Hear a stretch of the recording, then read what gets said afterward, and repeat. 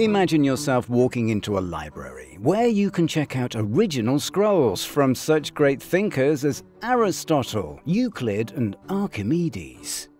Sounds too good to be true, right? Well, this place did exist at a point in time.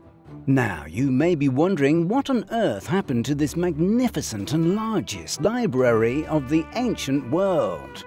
Welcome to Intrigued Mind and join us in unfolding one of the greatest crimes against humanity the burning of the Library of Alexandria.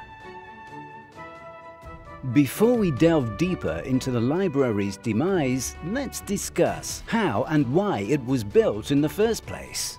In 336 BCE, Alexander the Great of Macedon led his army on successful campaigns that spanned from Greece to Egypt, through the Middle East and even reaching the far corners of India.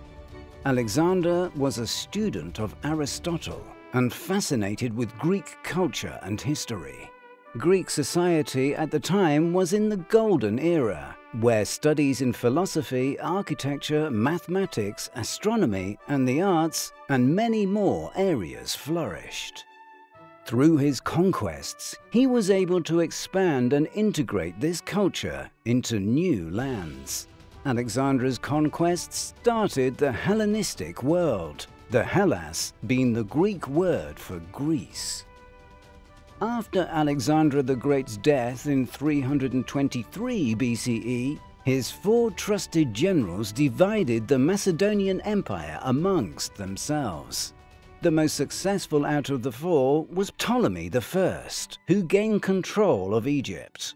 While the other three generals were fighting about land and politics, Ptolemy was the only one who attempted to make Alexander's dream come true a vision of blending the East and West and creating a multicultural world. He started with changing the capital of Egypt from Memphis to Alexandria to become the major economic and cultural center. Importantly, he mandated his empire to worship Serapis, a deity that blended the Egyptian and Greek gods Zeus and Osiris. To honor the cult of Serapis, Ptolemy I built the great temple of Serapeum. Accompanying this temple was a research institute known as the Mouseion, or the Shrine of the Nine Greek Muses. Included in this research institute was, you guessed it, the Great Library of Alexandria. But what made this library so great? Aside from its religious use, it was guided by the principle that knowledge is power. All ancient libraries, such as Library of Ashurbanipal or the Library of Constantinople, were notable because they gathered scholars from all around the world and housed great ancient literary works. However, what makes this library stand out from the rest was its aim to rival any institution in Athens, which, at the time, was the birthplace of knowledge. In order to rival such Athenian libraries and institutions, Ptolemy II, the next in line to the throne, assigned a group to run the library. One of them was the ex-Athenian politician Demetrius of Phalerum. The task given to him to collect, if possible, all the books in the world. How did he and the rest of the assigned men do this? They used two main methods. The first tactic they used to acquire original documents was to rent the scrolls from other owners of libraries for a number of gold and silver pieces, have the scribes copy them and return the copy instead. They tell the owner to keep the gold. The second method used in acquiring books was a clever use of the library's geography with Alexandria being the hub joining the eastern and western Mediterranean world, ships from all around would dock there. To help the library's collection grow, it was mandated by the pharaoh, Ptolemy, that each ship was to be searched for books. If a book was found, it was taken to the library for a scribe to copy it. The original book would again be taken by the library, and a copy would be returned to the ship. Hence, a category at the library named From the Ships was created aside from other categories such as mathematics, anatomy, geography and many more. While these were pretty strong-arm tactics to go about building a library, they certainly yielded results. The library would have a vast collection of original scrolls and manuscripts that would attract researchers, thinkers and literary figures from all over the ancient world.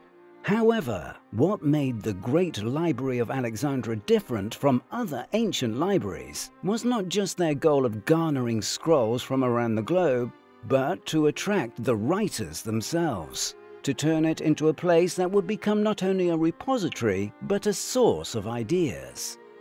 Disciples such as geometry, geography and astronomy thrived as students and sages frequented the library.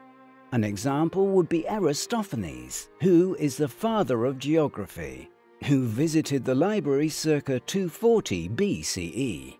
He was able to calculate the Earth's distance from the Sun and predicted the leap year of 366 days every fourth year by using the knowledge contained in the Library of Alexandria along with his research.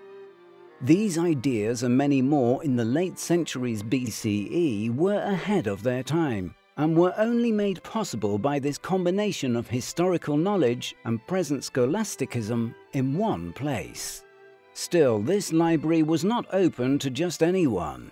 It was part of a research center, so the Ptolemaic rulers of Egypt gave scholarships and allowed access to scientists, philosophers and poets to the collection, and offered them to live in Alexandria.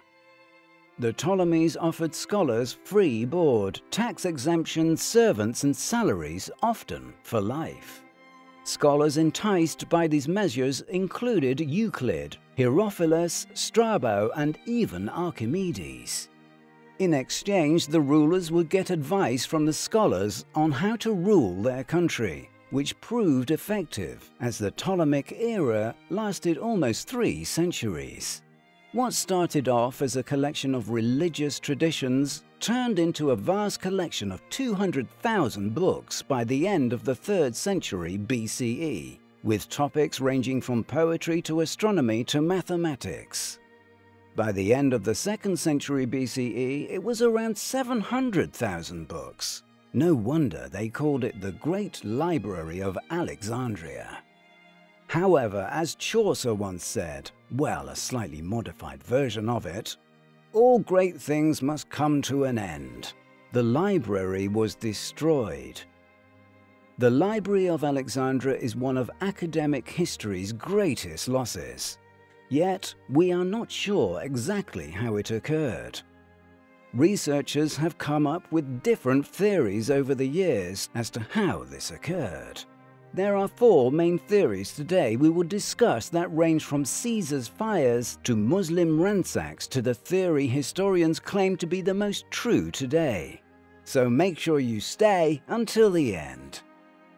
The siege of Alexandria in 45 BCE, led by Julius Caesar, has been blamed for the fires that led to its destruction as written by Plutarch, when Julius Caesar was forced to repel the danger by using fire, and this spread from the dockyards and destroyed the great library. This account is unconvincing though, as 30 years after the siege there is literary evidence of scholars still going to the library. In fact, there is evidence of people going 300 years later. In addition, it was not the library that was near the port, but the warehouses that only contained manuscripts. So perhaps some part of the collection was burned, but not the library itself. The second suspected theory wouldn't occur until 4th century CE, when the Roman Emperor Theodosius issued a decree outlawing pagan practices. Allegedly, as a result, Christian soldiers destroyed the Temple of Serape in Alexandria altogether, with its many documents which were mostly stored in the Great Library.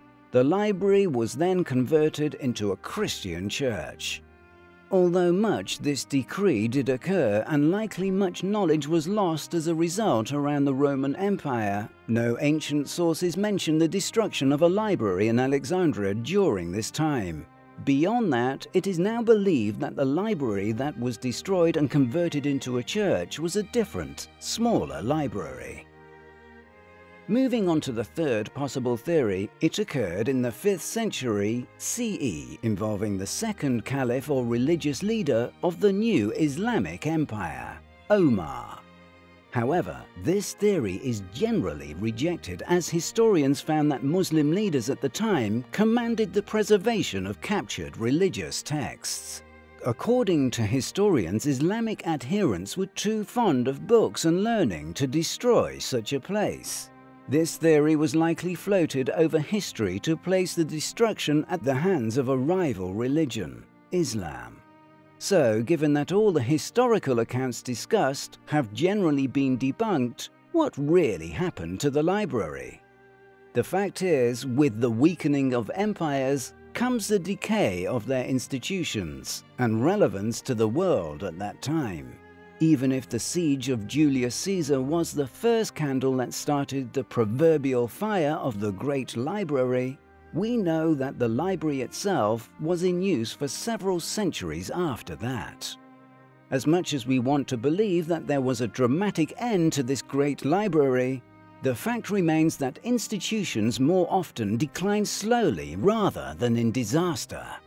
In the end, the library's demise was due to the lack of funding as its relevance faded away like the empire that founded it. To maintain such a large library required sponsors and a staff. In other words, a lot of money, for it to remain as great as it was. Although still in use, the library and its temples were but a memory of what they were in the heyday in the 2nd century CE. Simply put, its time was up. So, was it a crime against humanity? Many have made the claim that the burning of the Library of Alexandria set humanity's progress back a thousand years. However, it is much more likely it simply faded away with time as resources to maintain the facility ran bare. But many researchers stated that even if the library and its works were lost in time, intellectual progress was still preserved the most influential works of antiquity survived. Although we only have fragments of their writings, we have enough to know the main ideas and build on them, and it is seen in the knowledge we have today. Nevertheless, it was not humanity that was set back, but history itself. In history, you need all the pieces of the puzzle to know its full value so we will never truly know what happened. Although the Great Library is not of the seven wonders of the ancient world like its neighbor, the Lighthouse of Alexandria, it was still a wondrous achievement. As said by author Heather Phillips in her essay about the library, it was a dream made into a reality, and it served its purpose as one that we would marvel at in history as one of the greatest libraries man has ever made. What do you think is the greatest thing man ever made?